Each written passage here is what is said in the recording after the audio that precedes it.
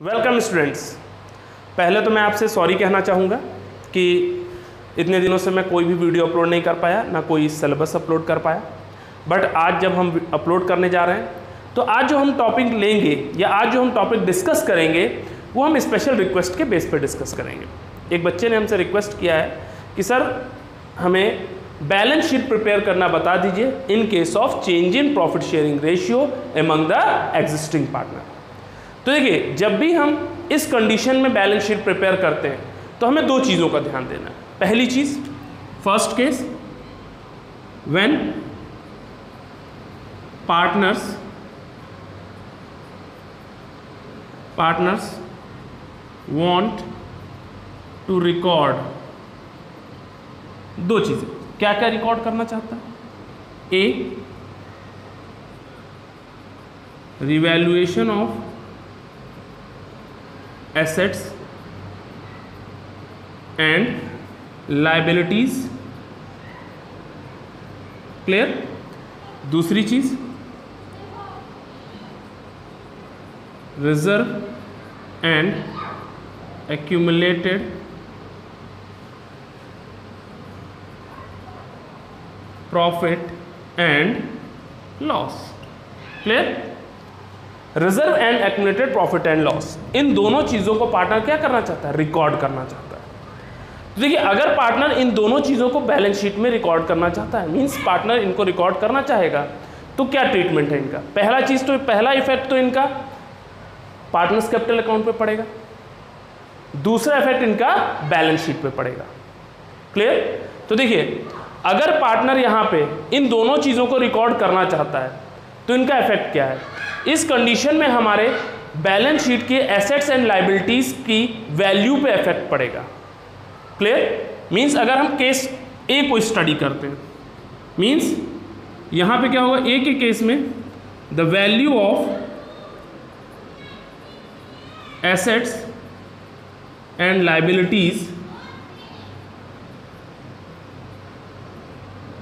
are change are change in new balance sheet. New balance sheet. Clear? Means new balance sheet में assets और liabilities की value में क्या आएगा? Change आएगा. क्लियर है? अगर पार्टनर इसे रिकॉर्ड करना चाहते हैं। ठीक? दूसरी चीज़ बी क्या कहता है? Reserve and accumulated profit means अगर इन्हें रिकॉर्ड करना चाहते हैं पार्टनर तो यहाँ पे हमारा क्या होगा? रिज़र्व एंड एक्यूमुलेटेड प्रॉफिट को या लॉस को अगर पार्टनर डिस्ट्रीब्यूट करना चाहते हैं तो ये कभी भी फिर आपके बैलेंस शीट में शो नहीं किए जाएँगे। क्यों? क्योंकि इन्हें हम पार्टनर्स को ओल्ड पार्टनर्स को ओल्ड रेशियो में डिस्ट्रीब्यूट कर देंगे और इसे हम बैलेंस शीट में शो नहीं करेंगे। तो देख लीजिए reserve and accumulated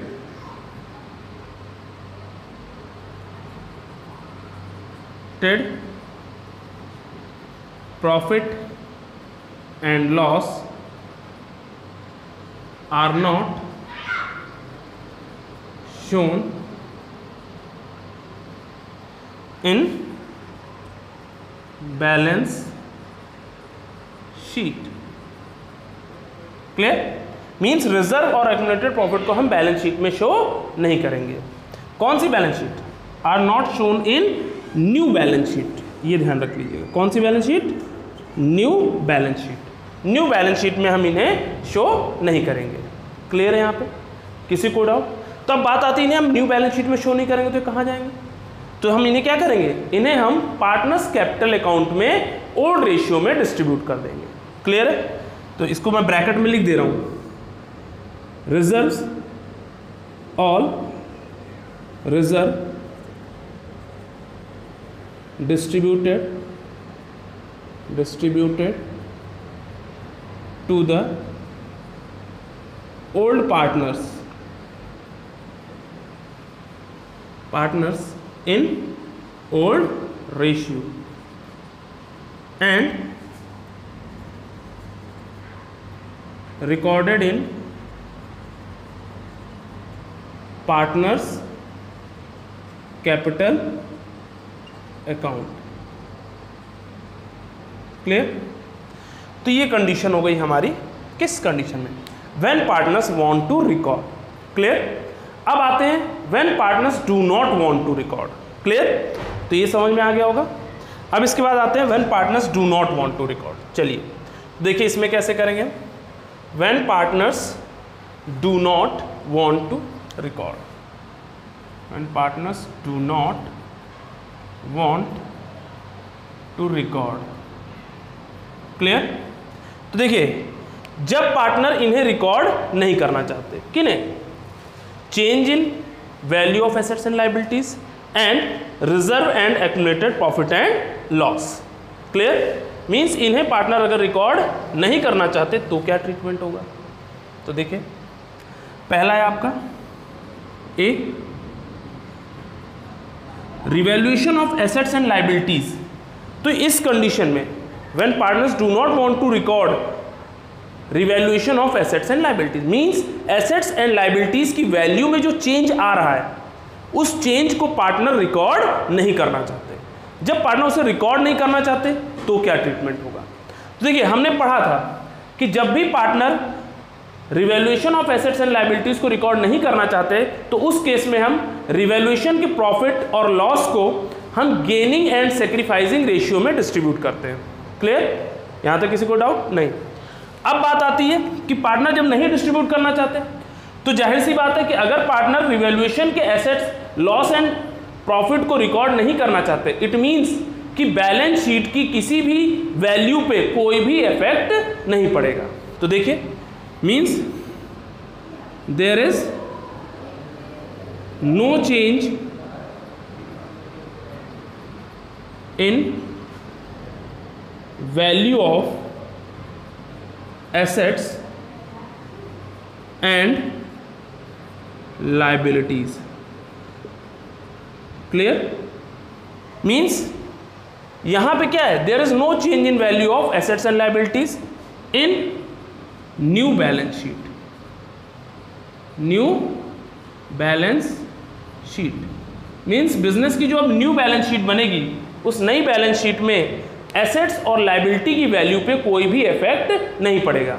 मीन्स जैसे कि हमने एडजस्टमेंट पढ़ा में लिखा कि machinery is valued at rupees forty five thousand पहले उसकी वैल्यू थर्टी थाउज़ेंड थी, अब क्या हो गई? फोर्टी फाइव थाउज़ेंड हो गई।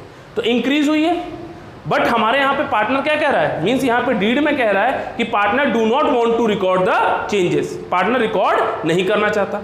तो ज़ाहिर सी बात है, हम रिवेल्यूशन अकाउंट तो बनाएँगे। उस पर हम प्रॉफिट भी फाइंड आउट करेंगे।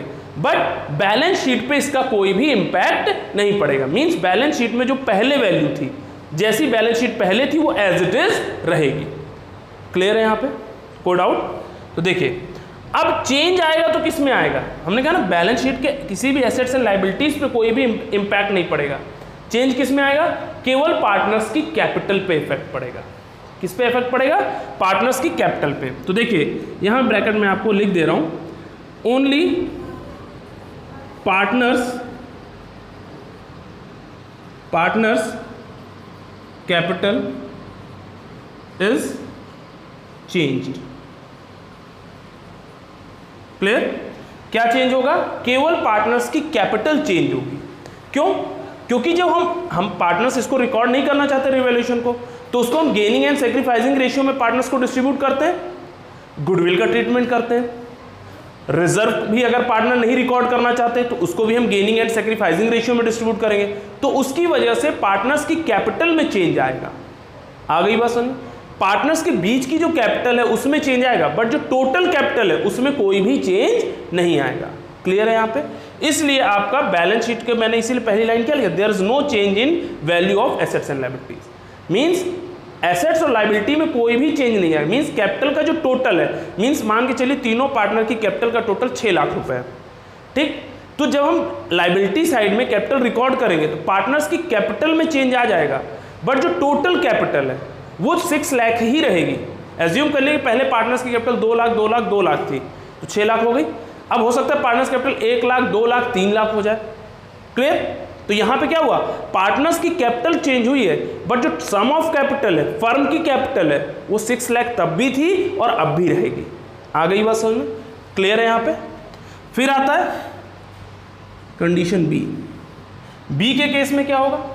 यहाँ पे क्या है? पार्टनर क्या चाहते हैं? Reserve and accumulated profit and loss को रिकॉर्ड नहीं करना चाहते। वेरी गुड नहीं रिकॉर्ड करना चाहते तो क्या एंट्री बनेगी?